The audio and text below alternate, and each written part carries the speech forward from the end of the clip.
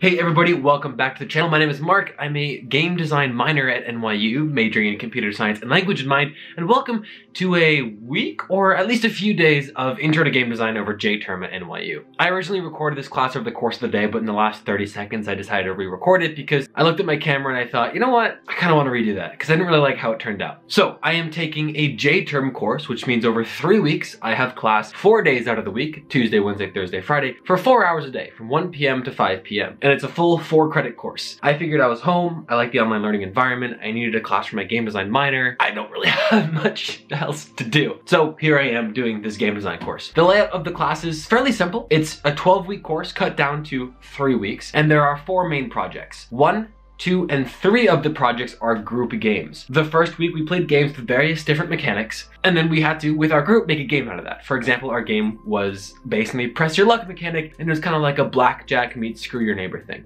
Week two was all about social games, so Mafia, Werewolf, Jackbox games, those kinds of things, and we chose to make a game with the theme of deception. And it turned out really well. Our game turned out really well, really enjoyed working with my group, and this week is just some thematic game. So figured I'd record a few things every day, we'll see how it goes.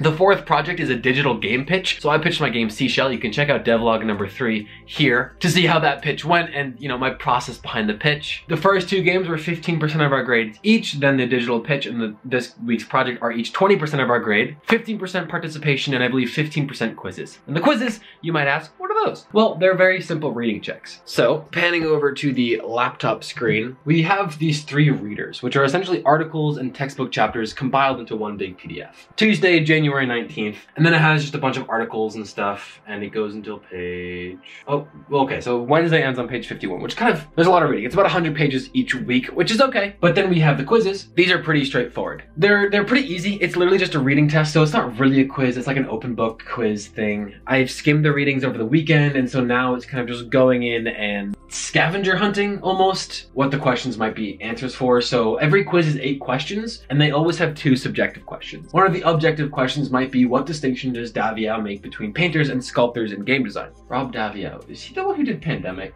Rob, Rob Daviau, Matt Leacock, right? At NYU, there's a class called Games 101, and you have to memorize essentially like 107 games for your final. Some of them have stuck around in my head, and Rob Daviau and Matt Leacock are the ones who made Pandemic Legacy, the first consumable board game, or one of the first. Anyway, there's gonna be a direct reading, and I, I vaguely remember where he talks about this, so I'll just jump to that page in a minute when I answer. One of the subjective questions, on the other hand, might be name a game that you've played that you'd consider the most Ameritrash, and briefly describe the qualities that made it so. And they're pretty much all like this. And the other subjective question on this is give an example of a licensed game you've played where you feel that the specific IP particularly resonated with the mechanics of the game. For example, I, know, I think Breath of the Wild because Zelda's all about exploration and they really enforce that with an open world, that kind of thing. You know, this video kind of only applies for intro to game design, if not intro to game design over J-term. So far, I've loved the class. I personally love the intensity of it. The professor goes really fast, but he understands what he's doing. Uh, he's taught the class many times before, so I'm absorbing material and it's intense, but not too difficult. But whatever happens, happens. We'll see how it goes. Anyway, thanks for clicking, and I'll jump into working on my homework.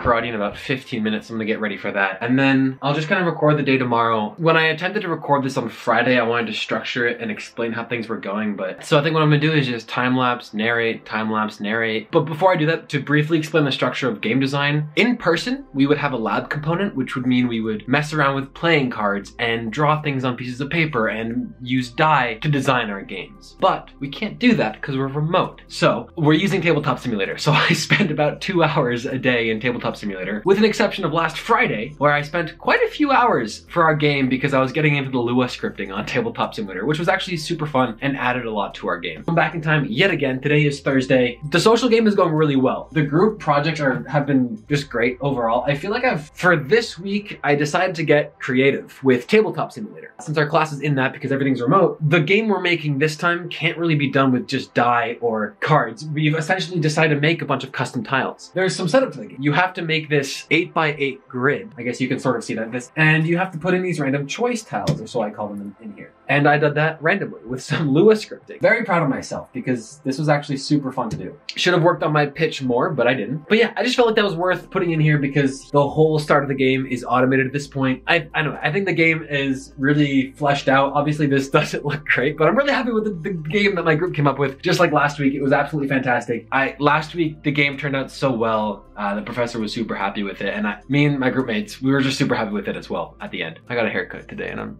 I'm not sure how I'm feeling about it. I think it looks fine, but like it's just different.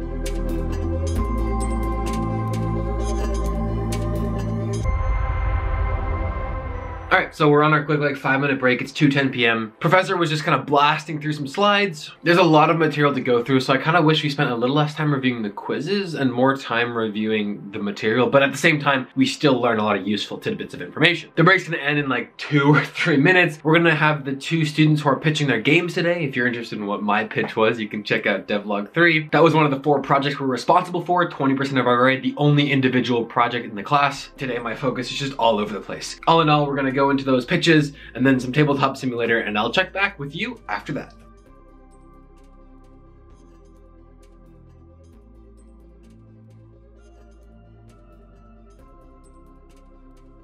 Look at that. It is 5.01 p.m. and it is not pitch black outside. Anyway, uh, we just finished up class. It is Wednesday. Whew, having such a long class feels kind of good because you get so much done and you feel like you've, you know, Yesterday's class feels so long ago. We had a great group session. We all ended with things to do for tomorrow, which was fantastic. Again, no tabletop sim yet, but maybe I'll record us showing the playtest on Friday, and that'll be the end of the video. You know, that's kind of it. I think the last clip I'm gonna jump to in just a moment will be my cat scratching at my door.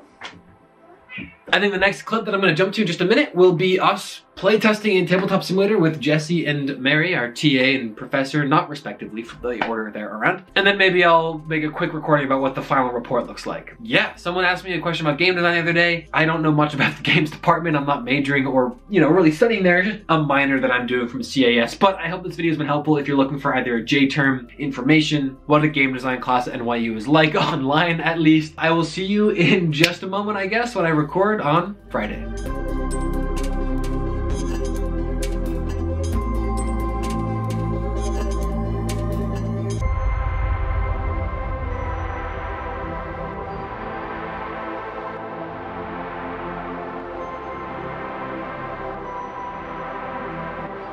I guess if like an extra bonus for getting an objective, we could also maybe phrase it as like take an extra turn. Do you think that could work?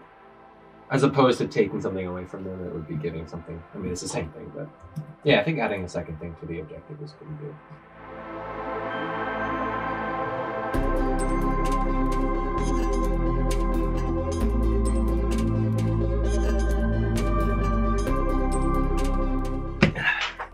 Okay, so that was finishing up. We're group one, so we're gonna be playtesting first. After like the first two hours of class, I believe we'll jump into all the playtesting. Turned out pretty well. I'm really happy with the game that we came up with this week. And yeah, that's kind of how the classes run over the course of the week. As a group, you work on one big game project and about half of the class is working on it. The other half of the class is lectures and going over the homework and stuff. No more quizzes or anything. I submitted my last one last night. Anyway, thanks so much for watching. If you are interested in other NYU student life stuff or typing videos, language videos, stuff like that, you can check out my other videos and I'll have some on screen for you now. But without further ado, thanks so much for watching. Have a good one and don't forget to stay awesome. See you next week.